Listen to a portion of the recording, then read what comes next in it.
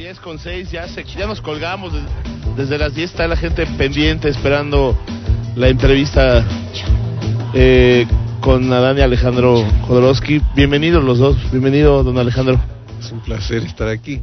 Eh, hola, Dan, ¿cómo estás? Hola, muy bien, muy a ti te veías más seguido, a tu papá yo, yo no lo veía hace... Bueno, lo veía de lejos porque a, a veces nos visitaba en otra estación, en Radioactivo, Sí, eh, y lo veía de lejos, pero nunca lo había entrevistado ni nada. pues ahí está, te lo, te lo traje. Ah, estás hablando de mí. Sí, claro. Yo, yo creí que solo veías a Danovsky. No, no, no, a, a usted, este, mucho gusto tenerlo aquí en, en- la cabina. ¿Qué le hablo de usted o de ti o cómo es? Como quieras, me da igual. Mira, Como ok. quieras. Tú, puedes decir. Alejandro. Tengo mi ego domado. Ah, sí, qué así bueno. que lo puedes tratar como quieras. Ok, Alejandro eh, y Adán. ¿Qué, qué tal se llevan? Adanovsky para los íntimos. A- Adanovsky para los. ¿Cómo- ¿Qué tal se llevan? Bueno, yo lo quiero muchísimo, pues.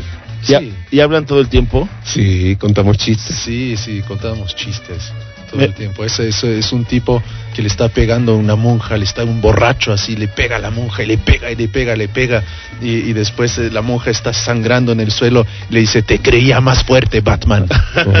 Y entonces llega a la casa, está borracho así, y todo con la, la cara y por todos lados con lápiz de labios rojos. la mujer dice, ¿con quién estuviste? ¿Me estás engañando? Dice, no, no, dice, iba en la calle y me asaltó un payaso. Oigan, y, y sacaron Twitter, este, me- nos decía Cristóbal, es que vino el otro día Cristóbal también. Sí, ah, sí, sí. Y, y que sacaron Twitter y nada más se, se comunicaban entre los cuatro, ¿no? Bueno, ustedes dos, Cristóbal y Brontis, ¿no? Al principio, sí. Sí. Sí, después se abrió un poco, pero sí. Empecé Sí. con el tweet y les dije a todos que tenían que entrarle al tweet, que era la nueva literatura de hoy. Y todo, bueno, ahora Alejandro tiene 400 mil y tantos seguidores. eh. Te, te has, te has vuelto este, Me- un- uno de los referentes de Twitter. Me encanta eso. Yo creo que es, es, es una actividad que va con nuestro siglo. Y yo, yo creo que la literatura del libro va, va a cambiar. Va- vamos a llegar a esta cosa, te- de una concentración mental increíble. Y se lo debo a Adán porque eh, es muy moderno. Y Adán me encontró a Alejo Dorovsky, fue Adán el que me inscribió. Me dice, saca tweet. Pero cuidado, me dijo, porque yo voy a hacer un libro con los tweets. Y bueno, ahora lo voy a hacer yo, le robé la idea. Ah, sí, y, Está tú- muy- y- y el tuyo se quedó ahí. No importa, lo haré de todos modos. Lo haré. Eh, Claro que sí. También, también de algún modo, eh, otra de las formas literarias este, modernas y, y- y- y una, una- un método bastante eficaz de hacerle llegar ideas a la gente es a través de las novelas gráficas, ¿no? Las que has Los hecho. cómics, claro. Sí, los cómics, has hecho muchos. Yo siempre dije que el arte debe alimentarse no de lo despreciable, pero sí de lo despreciado. Entonces, cuando hice una película, por ejemplo, que quería hacer, hice un western vaquero, El Topo, que no tiene nada que ver. Y luego cuando hago cómic, la gente decía, eso es Mickey Mouse o los cómics populares para niñitos. Yo dije, no puede ser una gran literatura el cómic, no hay que despreciarlo, hay que nutrirse de esto. Eh, cuando hice Santa Sangre me leí 500 fotonovelas. De las mexicanas. Sí, sí, que claro, venden. claro. No, es que es que son, son- es arte popular inconscientemente genial. Entonces hay que hay, hay que eh, alimentarse de esto. Claro, justo, justo antes, antes de que llegaran a cabina hablábamos que la cultura, eh, con otro invitado, que la cultura la conforma pues, todo, ¿no? La música que oyes en la calle, el fútbol, los cómics, las fotonovelas y la, y la alta cultura también, ¿no? Es como decir, el milagro está por todos lados, hay que saber verlo, ah, Yo- hay que saber observar. Yo estaba filmando en la Santa Sangre, donde Adán está genial. De ahí va a saber por qué lo quiero tanto. Era un niño, era un príncipe. Cuando- Es el niño más maravilloso que he visto nunca, ¿eh? Nunca un grito, nunca una molestia, era perfecto. Y entonces estábamos haciendo la muerte del padre de él en, ahí en la Plaza Garibaldi, a las 3 de la mañana. Y una bo- borracha estaba cantando, no sé, la barca, la barcarola, no sé qué. Y dije, tráiganmela. Y grabé a la borracha y la usé como música. Ahora todo el mundo me pregunta, ¿dónde está la grabación? Digo, no, es que no existe, era una borracha que estaba sentada en la calle. Entonces, ¿A- ¿Adán está- fue un niño consentido? No consentido, no, no, fue un niño eh, eh, maravillosamente rebelde, era él mismo, ¿no? Me decía, cuando sea grande, no me vaya, no creas que voy a ser un hijo de papá ni cosas por el estilo, yo voy a ser yo. Y sí, lo, Sí. lo cumplió. Sí lo Ahí cumplió. estamos, eh, Ahí mira, está. estoy haciendo música, estoy armando escándalos, bueno.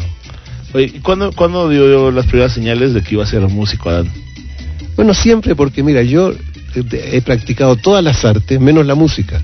Y su mamá era una música frustrada, ¿no? Tocaba el piano y aullaba en las noches, ¿no es cierto? A él le parecía música divina. Y entonces, eh, él tomó de su mamá el, amor por la música y la, la desarrolló. Lo único que yo hice es cuando me, él decía una, una, una- un saxofón, por ejemplo. La mamá decía, estás loco, un saxofón cuesta muy caro. Y yo se lo compraba escondida. Eso es lo único que hice, ¿no? Pero desarrolló su talento musical solito. Autodidacto, en realidad por amigos, y porque mm, empecé a escuchar muchos discos. Desde Y los- los madre- pero mi madre me, me- me ofreció un, un cuatro pistas así para poder eh, eh, hacer arreglos. Me acuerdo que grababa mis arreglos en un cassette, eh, así en el 93, eh, ¿ves? Yo tenía como, como 13 años. Ahí fue cuando empezaste a hacer tus demos. Y yo, Ese co- ahí, sí. yo como me, me había hecho famoso en- entre el rock en, en Estados Unidos con el topo, veía yo a los cantantes de, de rock, ¿no? John Lennon, Harrison, eh, eh, Peter Gabriel, y él chiquito los vio. Los conociste a todos. Sí, sí, sí, los conocí. Ya conocen la historia, ¿no? Sí, ya, ya Sí. platicado aquí. Yo certifico que es totalmente cierto. ¿eh? Sí. Sí, bueno, También es cierto que yo rechacé a Harrison para, para la montaña sagrada, porque había una escena donde el alquimista le limpiaba el ano. Entonces dijo que él aceptaba toda la, la película menos esa escena. Le dije, no, tienes que vencer tu ego y mostrar, mostrarte. No, no, entonces no. Dijo no. Me perdí, No perdí millones. Sí, me acabo de ver el, el documental de Harrison. Eh, Ah, sí. ¿Era buen tipo? Sí, yo, yo, lo, yo lo conocí, fue en la entrevista que tú estaba vestido de blanco en, en un hotel que se llama el Plaza Hotel de Nueva York. Ajá. Y cuando llegué estaba de blanco como, como un gurú, ¿no? Pero hizo un escándalo porque pidió un té y pidió una, pues, eh, una agua caliente para el té, además. Y le cobraron un dólar por el agua caliente. Hizo un escándalo en todo el hotel porque le habían cobrado un dólar por el agua caliente. No es que fuera varo, sino que pagaba millones por el cuarto, pero Le parecía... in- eh, que, que no era justo. Claro. Bueno, en el documental la palabra, digo, el rápido, la palabra que aparece mucho cuando lo describen es enojo. O sea, que era un tipo muy enojón y de, Ah, yo lo de- visto, mucho ¿no? carácter. O sea, aparte de que era como muy bueno y Sí. muy espiritual y no sé qué, ¿no? Muy espiritual. Pero se enojó por eso, eso sí me acuerdo muy bien. Oye, ¿y a Lennon cómo lo conociste? Eh, Pues Lennon eh, eh, pues, eh, se hizo admirador del topo. Entonces fue él que lo presentó. Porque él hacía peliculitas muy raras con Yoko una mosca que andaba por el cuerpo de una mujer, cosas así raras, 300 culos que andaban. Eran cortos así de, arte moderno, ¿no? Y los presentó en un teatro. Y luego cuando terminó a las 12 de la noche dijo, quédense a ver una película extraordinaria, el topo yo la recomiendo y, y ahí fui lanzado. Y luego él le dijo a mi, a mi productor, Alan Klein, que era su productor de Apple, dale un millón de dólares para que haga lo que quiera. Y me los dieron y hice, hice la montaña sagrada y hice lo que quise. Oye, ¿T. Allen Klein no te transó como, como a, lo- a los Rolling, ¿no? Fue a los que los, le- les, Sí. les bajó bastante dinero de regalías. ¿A ti no? Bueno, yo no sé porque yo nunca lo hice, yo, yo, yo nunca hice cine para ganar dinero, ¿eh? yo hice por hacer cine, así me importaba un cuerno. Yo le di la película, pero eh, lo que yo quería es que se viera mi película. Pero nunca gané nada, claro. Claro. gané un 10% de nada. Pero no, no me ofendo, porque gracias a Alan Klein se hicieron cosas increíbles. Nos peleamos 30 años, Al final hicieron las paces. hicimos las paces. Ya se murió, ¿no? No, Se lo murió. que pasa es que mi padre tenía, eh, bueno, Alan Klein impedía que se publicaran sus películas y entonces mi padre autorizaba a la gente eh, piratear la película y le decían, ¿puedo publicar esa, esa película, poner esa música? Y sí, decía que sí a todo, ¿no? Yo ahora tenía malas copias en video, pero se las, yo decía, ¿dónde están, ¿dónde están los piratas? Y les se las daba, las regalaba. A donde yo iba regalaba, era mi guerrilla, ¿no? Durante 30 años. Durante 30 años. Entonces, Y al final hicieron las paces y, Entonces- por, y por eso salieron tus películas ya bien sí, y todo. pero encontré un negativo de- del topo aquí en México. Entonces le dije a un pirata de Londres, públicalo, el topo. Dije, pero te va a hacer un proceso. Y dije, bueno, que me lo haga. Que, que- que- que no tengo que pagarle. No me va a meter preso. Y otra persona en, en Francia dijo, estás loco, me dijo. Todo lo que ganes de aquí al futuro te lo van a quitar, te van a dejar en la miseria. Yo te voy a hacer un proceso falso porque no, no te podrán juzgar en Inglaterra, te van a juzgar en París. Y, y yo te voy a defender con un abogado que va a ir al porcentaje, no tienes que pagarle, etcétera. Entonces llamé al hijo y le dije, el hijo tenía 40, 50 años, le dije, mira, va a ser una guerra de 10, 20 años y ustedes van a pagar, pagar 500 dólares la hora a los abogados y yo nada. Entonces yo voy a resistir, ¿por qué no hacemos una cosa amigable? Veámoslo, veámonos. Bueno, mi padre sí te quiere ver. Entonces fui a Londres y yo iba subiendo el hotel y dije, puta madre, esta es la persona que odio en mi vida, le voy a romper la cara, o él me, él me va a matar. Y golpeó en la puerta así, pero así temblando a ver este gángster de mierda que, que, lo odiaban. Se abre la puerta, aparece un viejito de pelo blanco y me, me mira, me dice, oh, me dice, usted es bello. Yo le digo, oh, usted parece un maestro espiritual. Y nos abrazamos y, saca, y ahí se acabó todo. Tan fácil. Tan fácil. En un segundo nos un, vimos. Un conflicto de décadas. De décadas y era por nada. Porque él era un, lo había eh, un problema terrible con un padre terrible y yo también. Entonces él me había proyectado a su papá y yo le había proyectado a mi papá a él. Ahí nos dimos cuenta que nos peleamos por nada. Wow. Pero vamos a poner una canción y ahorita ya platicamos del espectáculo del viernes, ¿no? Es que, perdón, no, Adán, no, no, pero es la primera vez que lo tienes. Sí, ya, eh, sé, por, ya sé, Nosotros ya hablamos. Y la gente quiere, tiene miles de, miles de preguntas. Me imagino, no hay ningún problema. Tengo, además, tengo, el ego domado yo también. Eso, porque además, qué bueno que su ego está domado de ambos. Porque además cada vez es más famoso, Alejandro. ¿Qué, qué, por el tweet. Por, el tweet, y, todo el mundo. Por los jóvenes. Y, la, ajá, los jóvenes lo han, lo han, lo han, lo han redescubierto, etcétera, ¿no? Mira, mi cuerpo envejece, pero mi mente rejuvenece cada día. Pero antes que sigamos, te voy a decir que yo soy un fan absoluto de, de, de Adán, de Adanovsky. Yo realmente admiro sus canciones. Yo estoy aquí a su servicio. ¿Entiendes tú? Claro. Entonces no, no quiero yo que me pregunte Des, mucho a mí. Después te cuento cómo, cómo surgió toda esa idea y todo con él. Ahorita platicamos, vamos a oír una canción y tengo que poner un corte porque ahora nos multan si no salen okay. a la hora que deben salir. Dios mío. Eh, sí, caray. Pero bueno, eh, tenemos todavía un buen rato para seguir platicando con, con, con los con los eh, es que me hago bolas entre Adanovsky, Ale, Ale, Ale Jodorowsky, Alejandro con, Jodorowsky, con los Jodorowsky, con los Jodorowsky. Eso. Bueno, vamos a, a, la canción y ahorita seguimos platicando con ellos.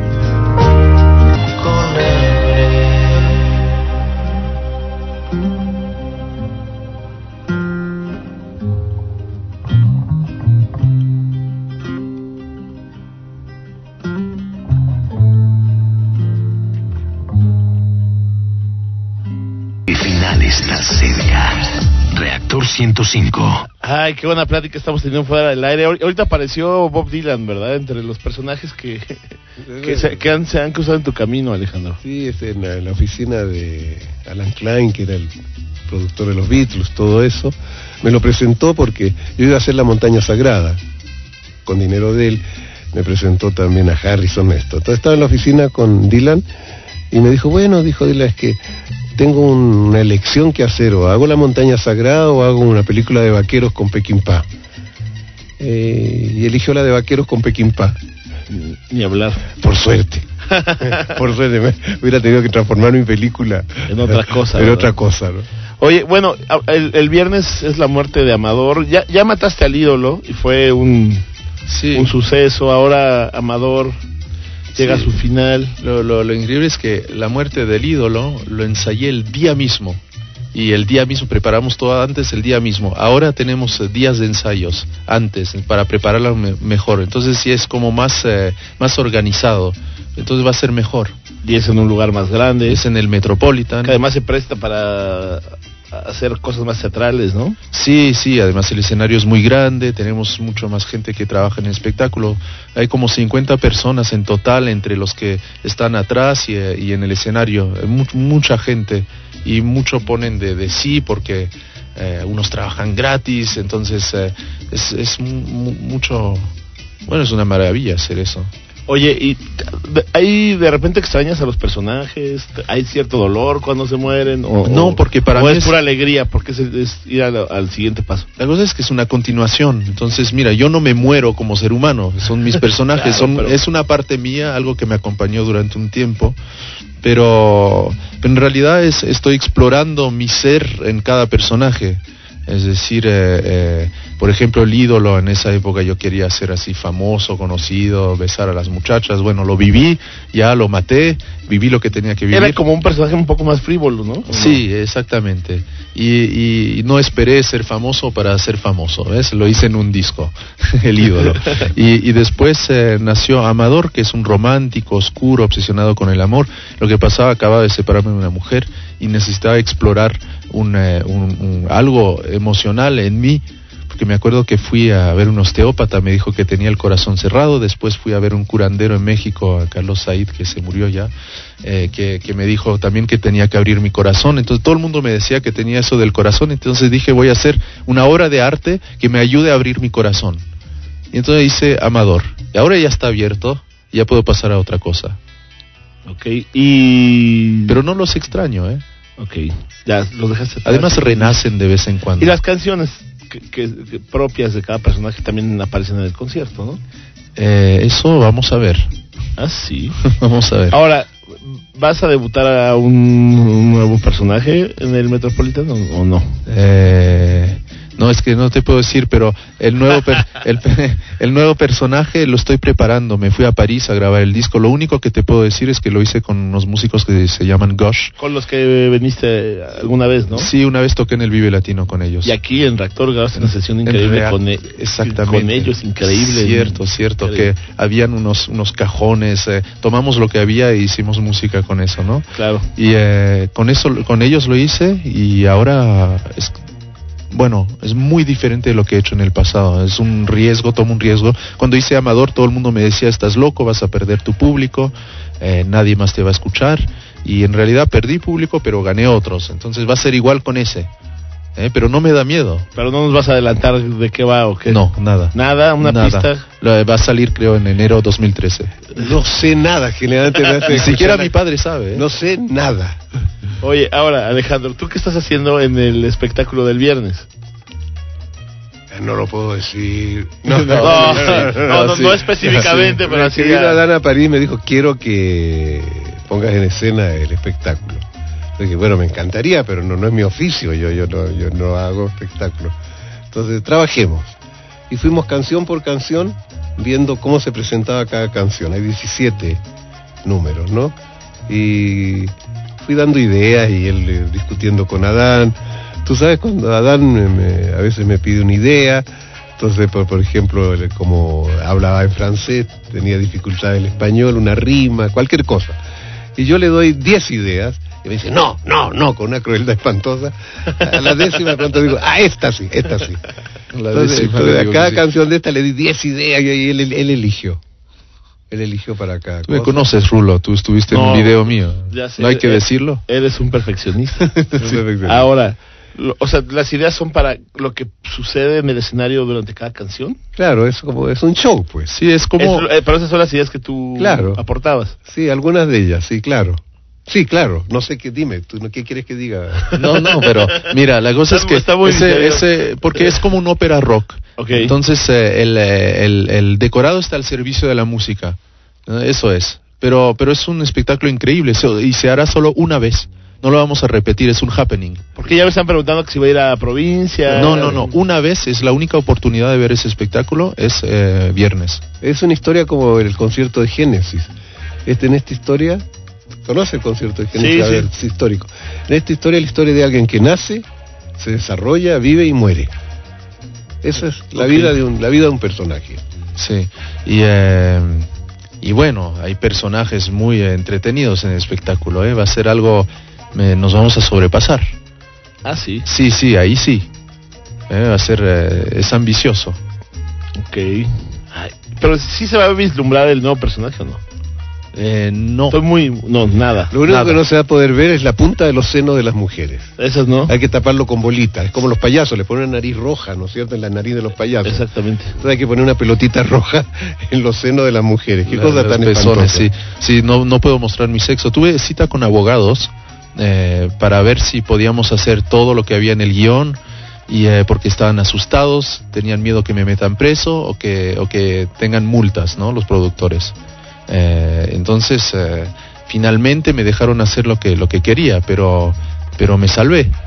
Y, eh, lo que no puedes hacer es mostrar pezones de chicas, de bailarinas. Si no mostrar los tuyos. no tener no tener actos sexuales eh, En el escenario. escenario y por ejemplo no interactuar con el público sexualmente eso es lo que Ningún me- plátano tampoco. en ningún- sí, no puedo introducir un plátano en el ano de Ah. cualquier persona del público no puedo desgraciadamente Siempre que viene alguien de ustedes acaban hablando de anos. pero es que el ano es ahí donde, donde está toda la profundidad del ser, ¿sabes? La oscuridad, la oscuridad del ano adentro es el abismo el más eh, increíble del planeta.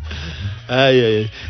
Pero, y lo pone, tengo que decir también que nos ayuda mucho eh, Arturo Malacara y Jorge Reich de Odd, Odd Gang, que son unos productores, ellos están montando todo, llamando a todos los eh, actores, eh, eh, organizando todo, es, es, eh, un trabajo, pero de, de, de, de- de- de titanes.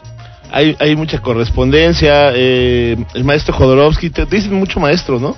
No es mi culpa, ¿eh? No, no. Pero yo tengo que contar algo, de, hablando de maestro, que cuando yo nací, eh, primero me hicieron, me, me- me enseñaron a contar en la cuna con, con las cartas del tarot y toda la casa era violeta. Entonces eh, eh, todo era violeta, los trajes, la, la, la, la ropa, el coche, los cojines, la alfombra, las paredes, todo era violeta. Entonces yo nací en un mundo violeta. Ahora mira, tengo una chamarra violeta. Ver, Pero explica por qué. Ahora te lo voy a decir porque nunca te lo he dicho. A ver. Cuando tu mamá estaba encinta, yo no quise saber si, iba a ser si ibas a ser hombre o mujer. Y generalmente se hace la ropita de celeste para el nene y rosada para la niña. Y dije, vamos a preparar la llegada de él en un mundo violeta porque sea hombre o mujer va, va a funcionar. Pero después empezaron a adoptar el color violeta también. Sí, porque yo dije, voy a hacer monocromo. El, el color violeta es eh, receptivo. En el tarot hay todos los colores menos el violeta, manchita, entonces es receptivo. Y viviendo un solo color, voy a descubrir lo que son los otros colores. ¿Eh? Ya. Entonces Y- el mundo de cuando nació Adán era la violeta. todas, los, Sí. los cubiertos. También me decían el hombre violeta. De hecho, como nos quedamos niños, bueno, yo, yo me he quedado niño todavía, entonces duermo en un cuarto violeta ahora. Pinté las paredes de violeta. Diez años de violeta, toda la casa, todo yo, todo, diez años. Los anteojos, todo. Todo. Qué increíble. Hasta el papel de baño, violeta. En serio. Sí, sí, todo. No, quiero ver fotos de esa casa.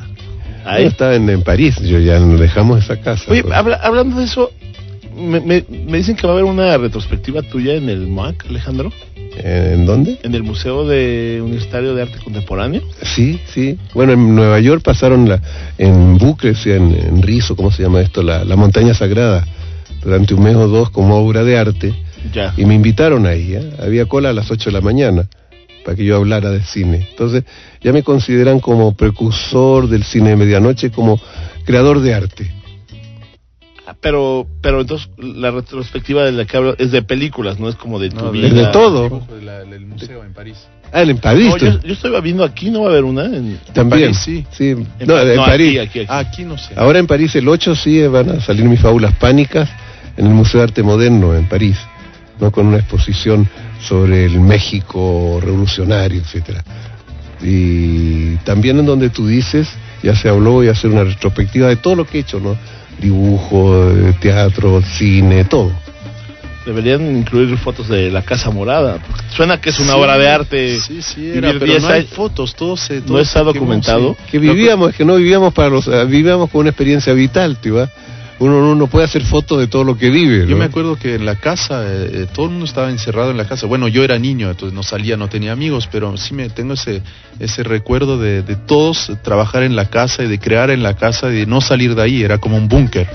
¿eh? Así era, así era. Así era, pues, Sí, así era, era divertido. Alejandro tenía su biblioteca al fondo porque él tiene millones de libros, ¿sabes? De, de todo tipo, japonés, místico, eh, novelas, poesía.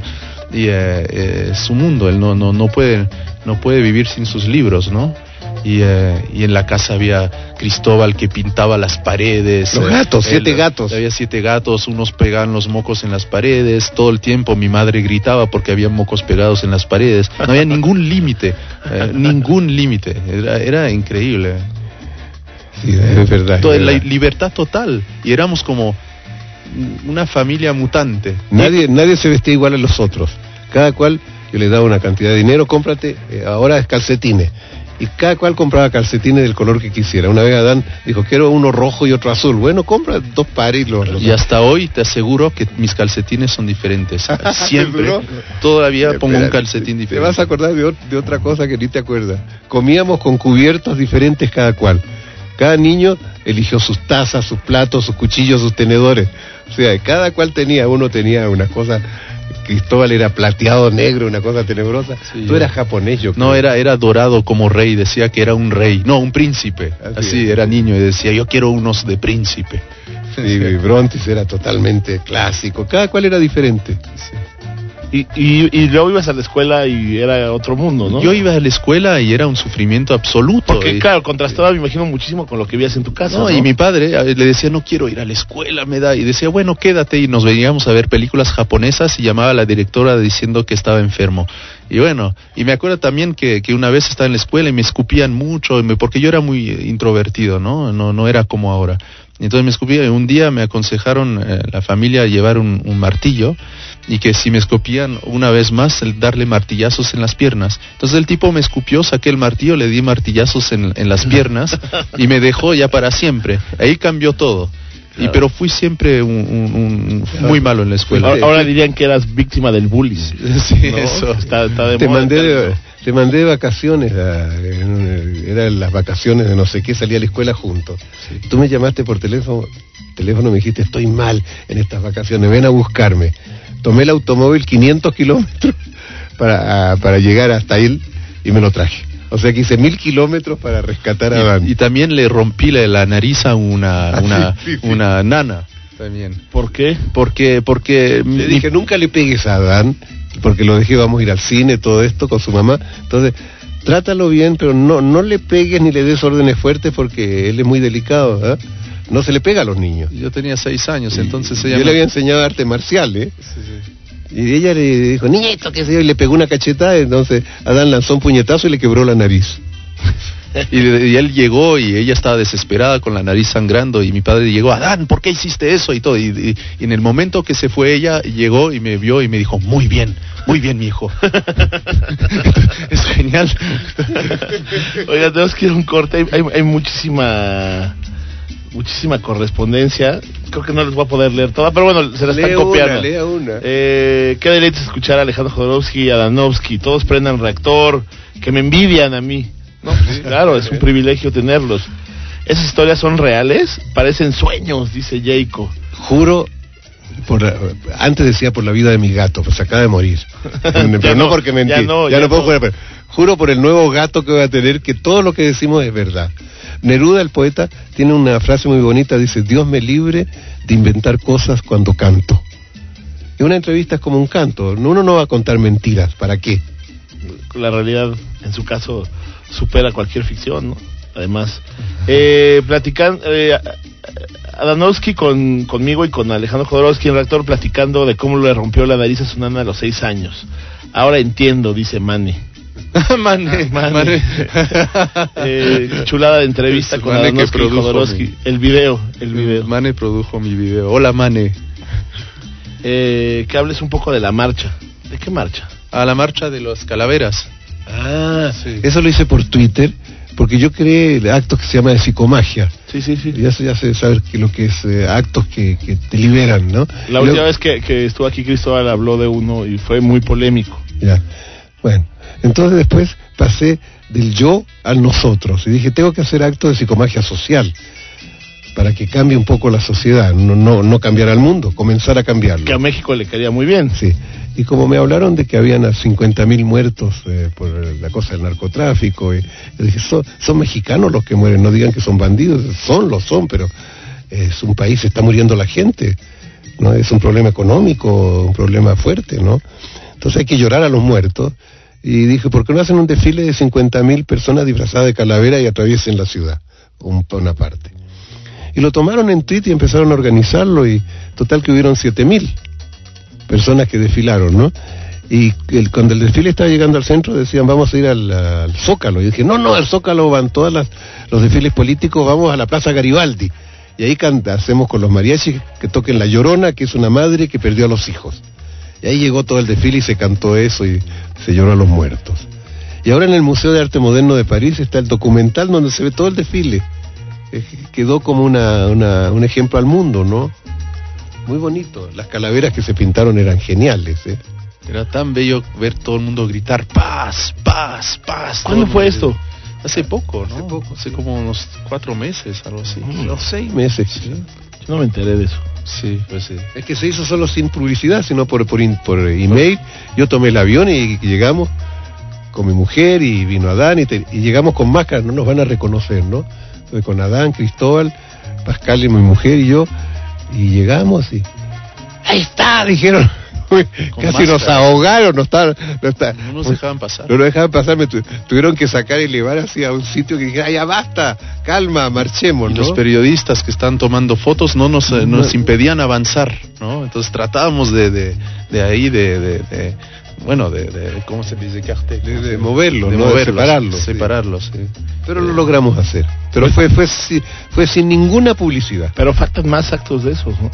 Claro, hay que seguir. Pero es difícil imaginar un acto, porque para hacer un acto de psicomagia social se necesita el consentimiento, no, no puede ser escandal- escandaloso, porque una, una terapia no, no- no agrede, sino que tiene que ser algo, a, a un acto que todo el mundo lo sienta. En Argentina llegué y donde torturaban a la, a la gente, los desaparecidos, creé un eh, cementerio metafórico. Se hicieron tumbas con la foto, unos, eran unos cuadrados con unos agujeros para que la gente metiera la mano y las mamás o las abuelas se comunicaran con sus muertos, y había una paloma que soltaron, y una canción de Adanovsky, tu canción que era tan bonita, ¿no? Saber amar. Saber amar, y toda la gente lloró y se creó un cementerio eh, metafórico donde la gente va a llorar al muerto, hay un sitio para el desaparecido. Eso no, no, no es político, ¿ves tú? El acto de psicomagia no puede ser político porque ya entramos en otro, en otro sistema, ¿no? Entonces es difícil inventarlo. Tengo varios, tengo varios, tengo que quiero hacer una anti-olimpiada. Ahorita nos platicas de eso. Vamos a un corte y volvemos al último bloque con, con, con los Jodorowsky, Adán y Alejandro. Eh, estamos hablando de todo, pero sobre todo del concierto de el viernes, donde se, se va Amador, Sí, se muere Amador el viernes. nos deja. Eh, vamos y volvemos.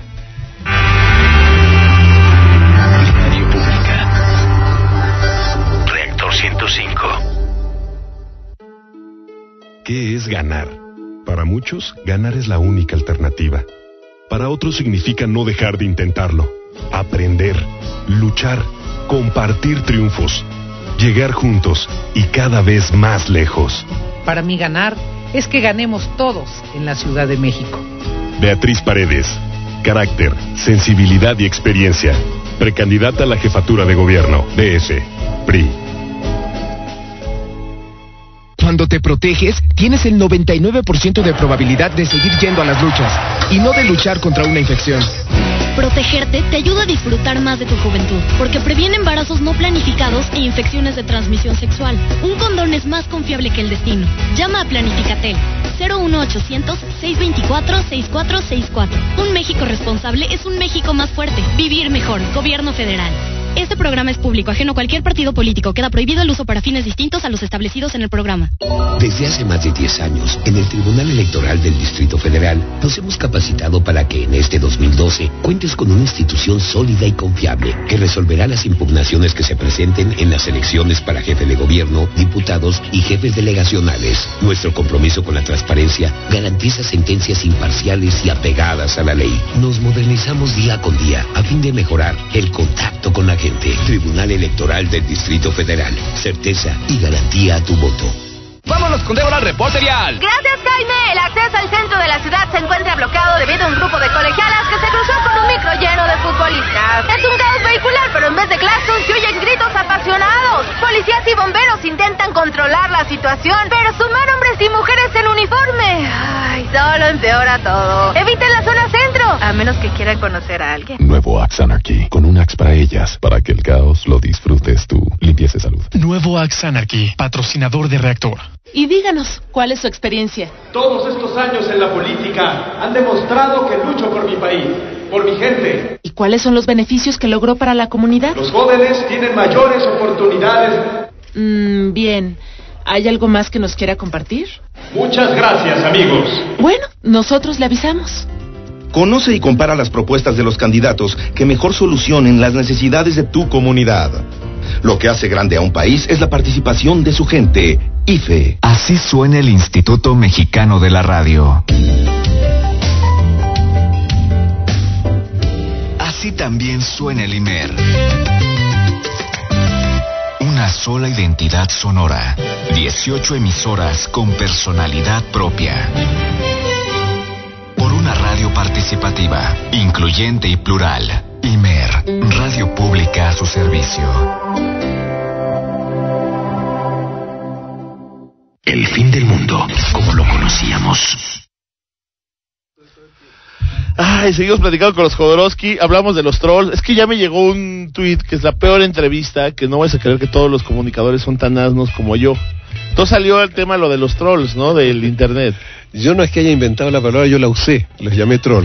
Ahora también los llamo psicoburros. Psicoburros. Pero cuenta cómo nació, porque le- les digo que, que mi padre no inventó la palabra troll, pero el uso de la palabra troll en internet, eh, eso no lo saben. Pero cuenta de dónde viene el troll. eh, El ese troll es una obra de un autor nórdico que era eh, Lenormand, donde había un monstruo, cuerpo de gaviota y cabeza de mujer, una especie de demonio que se llamaba el troll. Y de ahí lo saqué. Y, y me- y entonces empezó a poner el troll del día, ¿no? Y bueno, yo lo copié, puse el troll del día también, porque me pareció muy divertido eso. Troll y la, gente empezó a usar eso. Y ese, ese es maravilloso, ¿no? Que ya El entró en el- día, claro. A ti, por ejemplo, ese que te habla es un troll crítico. Un troll crítico. Sí. Pero hay el, el troll cochino que te insulta y to- todo tipo de troles. Oye, eh, ¿y ¿ya no haces películas, Alejandro? Sí, sí, sí, ahora me vine acá, pero eh, termino con el show este y parto a Chile. Voy a empezar a filmar, a preparar dos meses y filmar en junio. La danza de la realidad, ya, ya. No es proyecto, ya el dinero está en el banco, ya se hace. ¿De qué va? Es, es eh, quizás la historia de la relación que yo tenía chiquitito con mi padre. Eh, en una época de crisis, porque yo nací en el 29, que era la crisis total, parecía la crisis de hoy peor, y el 70% de los chilenos quedaron cesantes. Mi padre era un inmigrante y todo, este tipo de cosas, ¿no? Yo cuento cómo yo fui buscando la conciencia como niño. Es una historia. ¿Y eh, quién va a hacer el papel de mi padre? Porque, pues mi hijo Brontis, que ahora tiene 50 años, perfecto. Él va a ser tu padre. Va a ser mi padre. ¿Y a ti quién te va a hacer? Yo me hago mismo, yo de pronto salgo así como un fantasma. Pero el niño. El niño, ando buscando un niñito ahí en la colonia judía. Ya. Oye. ¿te gusta Pero hablar? nunca encontré, para mí el ideal que fuera Adán cuando era chiquito hubiera sido genial, pero nunca encontraré un niño así. Nunca. Bueno, Adán, pero yo, ¿quién yo haré sabe? a lo mejor tiene un hijo le di perdido un por papel ahí. de anarquista. ¿Puedo, puedo siempre, me das un minutito? Te llamas Rulo, ¿no es cierto? Sí. Yo cuando nací, nací rubio, y mi madre me hacía rulos, como Shirley Temple. ¿Por qué? ¿Por qué? Como una niña. Claro. Porque su padre de ella era un padre imaginario que era un bailarín ruso, rubio, con gran cabello, que se subió sobre un tonel de alcohol para prender una lámpara y ardió. Ese era el mito, ¿no? Que nunca conoció a su padre. Entonces, cuando yo nací rubio, yo era su padre. Y me mantenía con el pelo rubio, con los rulos. Y un día mi padre me dijo, no eres maricón, así con vestido como una niña, te voy a cortar el pelo. Y me llevó donde un peluquero japonés que me rapó. Entonces ya me salió el pelo oscuro y perdí el amor de mi madre. Ya no me habló nunca más. ¿En serio? Sí. Adiós, Rulos. Gracias a Dios, Rulos. Y entonces estoy feliz de estar contigo porque recupero a mi Rulo. Eh, hay mucha correspondencia. Dale mis saludos a, a Alejandro Jodorowsky. Dice que soy fan, me encantan sus libros, sus películas. Ya viene una nueva. ¿Cuánto tiempo sin una película nueva? Muchísimo, ¿no? Muchos años. ¿Cuál? ¿30, 40? No, uno hice dos, unos 20. Ve- Unos 20, no es nada. 20 años son nada, dice el tango. Sí, no, nada. Pero es que mira, yo no quería hacer cine porque el cine está, está podrido. Es cine, los americanos pudrieron el cine, lo hicieron industria. Esta película es fantástica, costó 500 millones de dólares, hizo mil millones de dólares, es un éxito. No hizo dinero, es mala. Entonces yo anuncio mi, mi película, una película para perder dinero. Así la voy a hacer. Eh, Entonces, tengo unos socios, les dije, miren, ustedes ponen el, el dinero, pero lo van a perder. No vamos a hacer una película industrial, voy a hacer lo que quiera, no les muestro el script, no les muestro nada, y ustedes simplemente protegen el arte. Y si resulta, resulta, pero no es por ganar dinero. Pero ahora eres más popular que nunca, ¿no? ¿O no? ¿O es, es solo mi percepción? eh, me, me detienen en la calle, sí, es verdad, en, la- Eh. en todos lados. O sea, hay una Jodorowsky manía casi. En- en- No. en- en no solo aquí, ¿eh? en muchos países. Sí, sí. Hasta en Francia me sucede que en Francia, que en Francia decía un, un pintor eh, surrealista, eh, Mata, Roberto Mata, ¿no? En, en París es muy fácil triunfar, solo los primeros 50 años son difíciles. Te pasa 50 años y al fin te empiezan a reconocer. Claro. Y ya, ya pasé 50 años, ya me están reconociendo. ¿Cuánto te falta a ti, Adán? No sé, a mí me reconocen también. Eh, camino en Buenos Aires y me paran en la calle. Danovsky, ¿qué haces aquí? Eh, che, boludo. Y también aquí en el aeropuerto, también los que me hacen, me ponen el tampón en el, el, el sello en el, en el- del pasaporte. Ah, usted Esa es otra Adanovsky. cosa, aquí dicen que estás no, no lo imaginaba tan alto, me dicen. No, y los taxistas a veces, sí, es de más en más. ¿Eh? Ahí va, Sí, poco ahí a va, poco. Poco a poco. Pero ha sido rápido, ¿no? Chile también. O sea, tu papá tardó más en... en- estaba caminando en Chile con un amigo, con mi amigo Cosmo, y caminábamos y le dije, mira esa muchacha, qué guapa es. Y ella abre los brazos y me toma en los brazos y me dice, Adanovsky. era, era increíble. Sie- Siempre ha sido muy exitoso con las mujeres. eh. Así que, Pero el bello de la familia. ¿Tú eras igual o eres igual? Y sí, pero yo, yo, yo no me daba cuenta, es decir, yo hacía lo que podía, ¿no? Sea, hacía lo que porque podía. Adán yo lo he visto sin esfuerzo, así. Sí, sí, yo hacía lo que podía, hacía bastante, esfuerzo. Tú, tú sí. Sí, No, sí. pero sabes, ahora estoy casto. Ya no me acuesto con ninguna mujer hasta sentir mi corazón vibrar. Decidí eso. Pero ya se va a morir Amador y quién sabe que venga. No, no. Voy, voy a, a partir del viernes cambia. Es posible que no me acueste con una mujer en dos años, ¿eh? quién sabe. Pero lo, pero voy a aguantar hasta encontrarla. Me Y quiero lavar y, y purificar mientras, para ella. Y mientras que tu almohada. o- Eh, no, me puedo masturbar a veces. ¿Sabes? Me masturbo viendo porno y ya está bien, está bien. Toma mi ejemplo, yo soy fiel, totalmente fiel, siete años soy fiel, pero es por viejo. Por bien, sí, ya. Ya no, me, ya no es porque ya no puedo. La edad, la edad nos va calmando. Eh, Una basta, pero, pero a la edad de, de, de- de Adán me costó, eh, yo creo que no era fiel. Oye, y además de la película, ¿qué otros planes? Bueno, hago cómic, eh, un- mundialmente soy muy conocido como autor de cómic, Sí, claro. Eso lo hago, hago. Ya últimamente eh, va a salir en Francia un tarot para gatos. ¿Cómo? Sí, sí, pues se murió mi gato, me dio tal pena, tal pena, que escribió, escribió un tarot para gatos. Cada, cada, cada arcano del tarot es un gato que describe su vida y esto, para niños, para que los niños jueguen con eso. Pero mm, es una diversión, hice eso. Hago de todo. ¿Sigues leyendo el tarot? Sí, claro. Cuando estoy en París me bajo abajo de mi casa a 100 metros hay un café, entro y leo el tarot gratis. Bueno, llegan 100, 100, 200 personas, pero se hace una lotería y le leo a 22.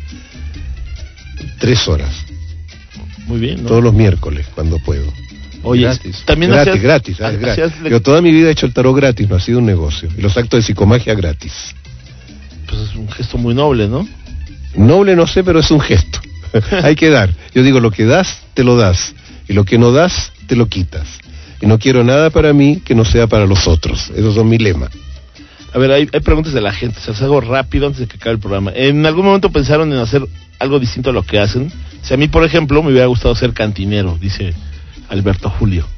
A mí me hubiera gustado ser cantante, porque mi madre me llegaba a ver Hugo del Carril, eh, cantantes argentinos, y yo hubiera querido, hubiera, yo hubiera querido ser Adanovsky. Pero se dice que... No, verdad, que yo hubiera querido que- ser Adanovsky. Se dice el- todo lo que no realizan los padres, lo que sueñan y lo que no realizaron un, un sueño, lo realizan los hijos. Es Sí. muy raro eso, ¿no? Claro. Yo siempre he visto- he hecho muchos árboles genealógicos de gente homosexual. Y he visto que, que en los árboles genealógicos la- los padres son eh, homosexuales retenidos. Siempre, casi siempre en los árboles genealógicos. Y les digo, ya deja de ocultarle a tu mamá o a tu papá que eres homosexual, ve y dile. Se van a sentir realizados. Pues sí. Eh, a ver, hay más, hay más preguntas. Este, ¿Cuántos años piensan vivir, Yo no nunca me voy a morir. Alejandro? Yo ya soy humilde, me, me despierto en la mañana y digo, ¡ay, qué maravilla, estoy vivo!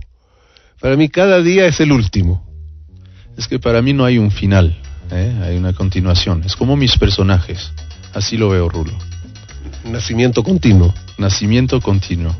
Anaí dice, un acto de psicomagia para dejar de comer por ansiedad. Realizarse sexualmente. Ahí está. Ahí está. Eh, ¿alguien, Eh, mira. al- alguien decía que me recomendaras un acto de psicomagia para ser puntual. Es que luego llegó tarde al programa. Hay que investigar eh, cómo fue tu parto. Ok. Porque si, si naciste tarde o si naciste, depende si naciste, qué relación tiene tu parto con el tiempo, naces adelantado o retrasado.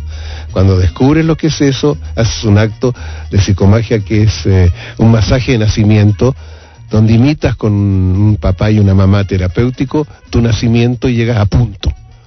¿Ah? En el nacimiento metafórico, naces a punto. Entonces ahí te pones puntual.